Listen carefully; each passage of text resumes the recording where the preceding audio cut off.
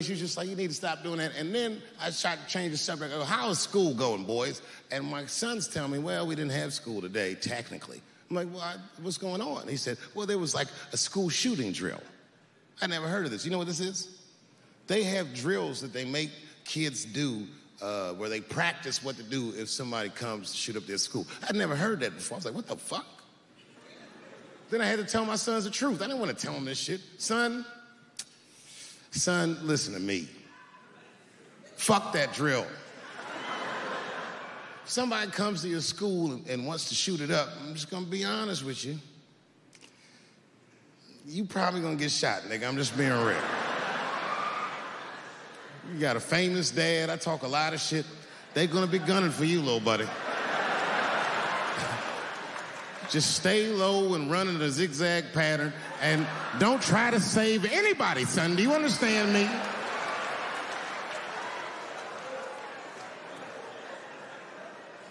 Why would you have kids rehearse for some shit they have no control over? All you're doing is training these kids to worry. It's the stupidest drill I've ever heard of. And while you're in there training them during these drills, listening and learning like the other kids, sit in the back. Where are we supposed to meet?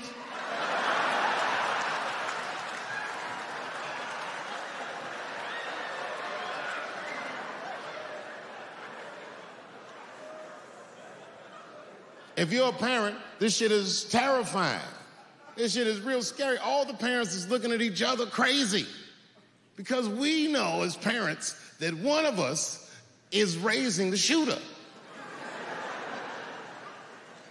Just don't know which one of us it is. All we know for sure is that if you're a white parent, the chances that it's you exponentially higher than the rest of us. Shooting up school is a white kid's game. It's fucking crazy. You know, I hated school too. It never occurred to me. Kill everybody in school? It's fucking crazy. Just do what I did, nigga. Try some things. Have you skipped school, nigga? Skip school. Take a walk and meet some other kids. Fuck school, nigga. My...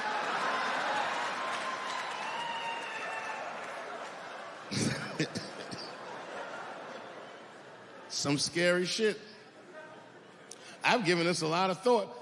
I don't see any peaceful way to disarm America's whites.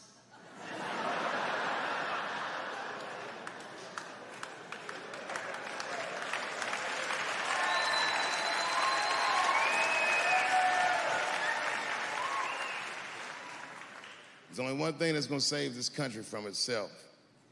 Same thing that always saves this country from itself. And that is African Americans.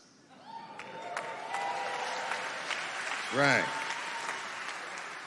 And I know the question that a lot of y'all have in your minds is should we do it? yeah, fuck yeah, we should do it. Listen, no matter what they say or how they make you feel, remember, this is your country too. It is incumbent upon us to save our country. And you know what we have to do. This is a fucking election year. We got to be serious. Every able bodied African American must register for a legal.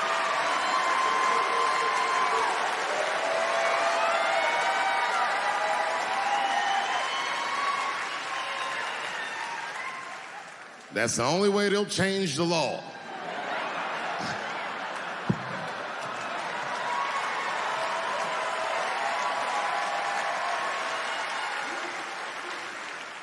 Hate guns personally. I can't stand them.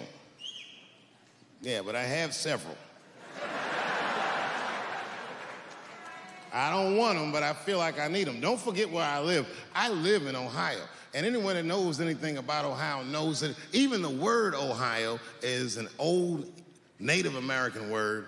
It means literally a land of poor white people.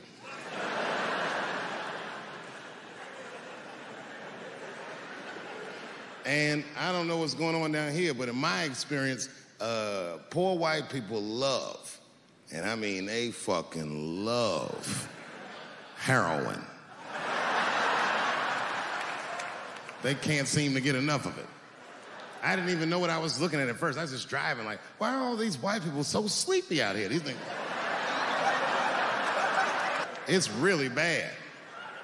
As a matter of fact, I was coming out of a nightclub the other night in Dayton, and I'd parked my car in the alley, and no one was out there. I didn't have no bodyguards or nothing. I was home. I figured everything was fine. And as soon as I opened my car door, all by myself, suddenly uh, one of these heroin addicted whites just pops out of a trash can. It scared the shit out of me. I screamed, ah!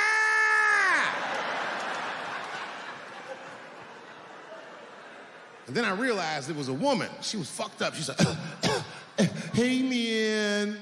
Hey, man, relax, okay? I'm sick, all right?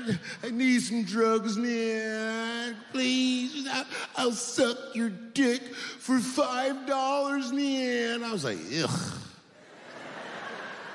Two.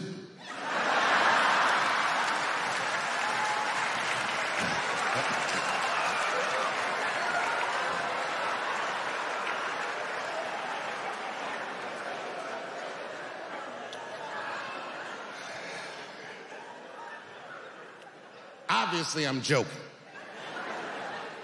This opioid crisis is a crisis. I see it every day. It's as bad as they say. It's ruining lives, it's destroying families. Sadly, you know reminds me of us? These white folks look exactly like us during the crack epidemic. You know, it's really crazy to see. And all this shit they talk about on the news about how divided the nation is, I don't believe it. I feel like nowadays we're getting a real good look at each other.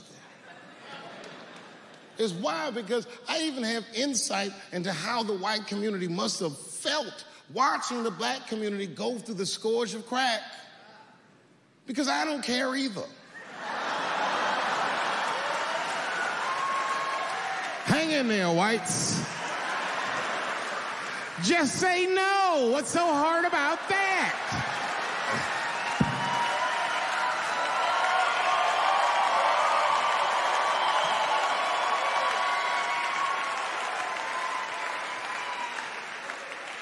Remember when y'all said that to us? But it's okay. There's no grudges. Now you finally got it right. Once it started happening to your kids, you realize it's a health crisis. These people are sick. They are not criminals. They are sick.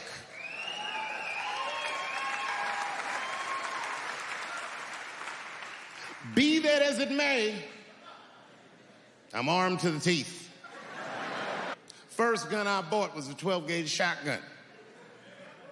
I didn't want the gun. Remember though, I'd moved to a farm and I was sitting there on the porch and I see a white dude walking across my property, entitled, like he's supposed to be there. He had a rifle over his shoulder too. Ain't that a bitch? I said, what the fuck is this guy doing on my property? I was mad as shit, but I was unarmed. So I ended up just waving to this motherfucker like a bitch. I was just like,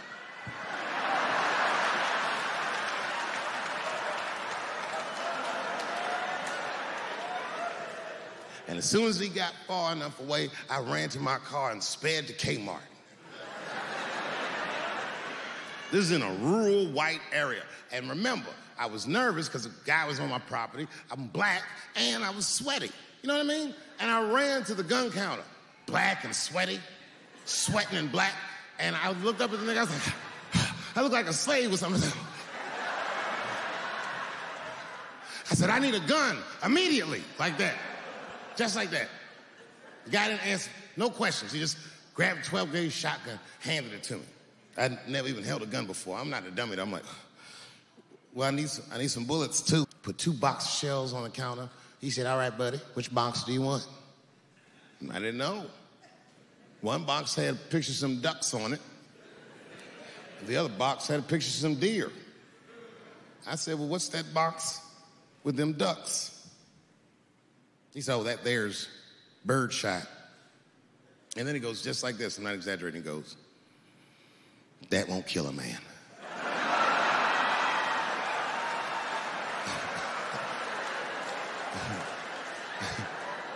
He said, it'll just pepper him up nicely. I said, what the fuck? Pepper? You know what it means to pepper a motherfucker up? It means that when the shell explodes, hot BBs will shoot out of the barrel of the gun, not killing a motherfucker, but penetrating their skin and shallow flesh. Boy, that's gotta hurt. Hot BBs? Remember when Dick Cheney shot a motherfucker in the face and he lived? That was birdshot. I said, Well, what's that box with the deer on it? He goes, Oh, that there's buckshot. That'll put a hole in the goddamn truck if you wanted to.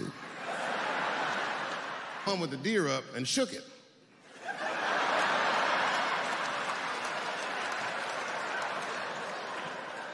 I thought he was trying to trick me. I was like, Do you have a box uh, with a picture of a white dude trespassing on it? Because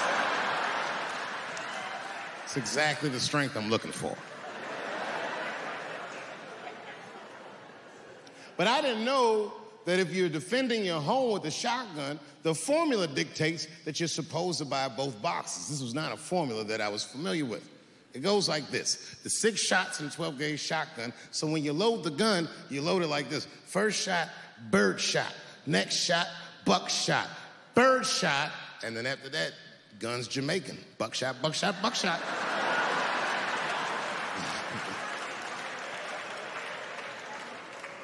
She got to picture it. Okay, like say I'm in bed and sleeping, and suddenly my wife wakes me up. David, David, wake up. And I'm like, oh, oh, look who's come around. And I pull my dick over the top of my pajamas.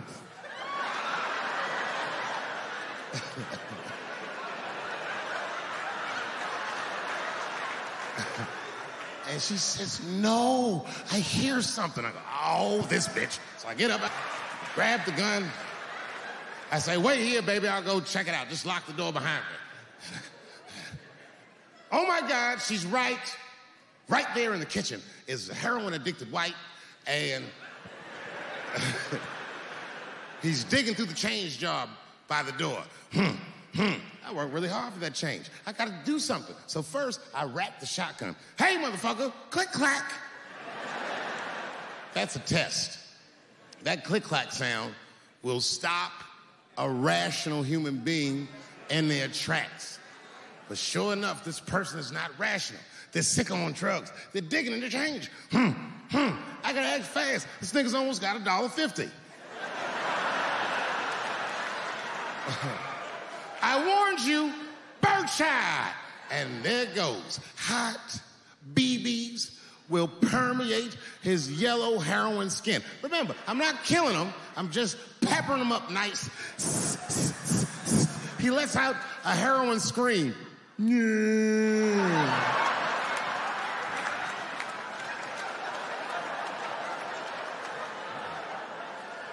And that should be the end of it. But, uh oh, I miscalculated.